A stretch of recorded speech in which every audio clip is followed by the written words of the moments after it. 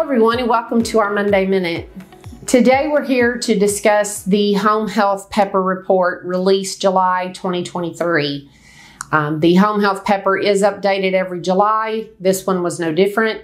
It was delayed a couple of weeks from its original uh, distribution date, um, but it has been released and is live on the Pepper site. As a part of this minute content, we will give you the link to the Pepper site um, to ensure that everyone is aware of where they can go to obtain that PEPPER information. PEPPER stands for the Program for Evaluating Payment Patterns Electronic Report. Big long title, right?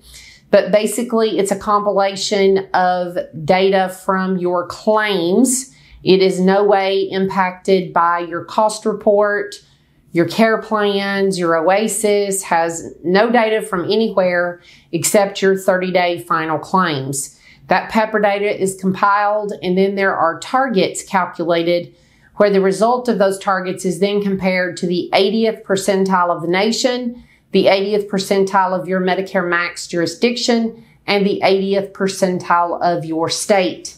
If your data calculations, target calculations are greater than 80, the 80th percentile calculation of the nation specifically, um, your data will be flagged for possible additional medical review.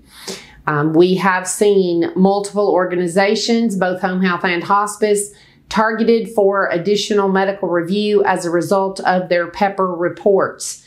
Um, you also want to make sure that your compliance um, QA team, medical review team, um, all see the pepper data um, so that they understand where their QA efforts need to be focused. Any of your pepper targets that are in the 70th plus percentile, um, you need to be reviewing those and determining if you are moving in the right direction, meaning you're not moving in the direction that next year, for example, um, your uh, calculations will be greater than the 80th percentile. We are here to help.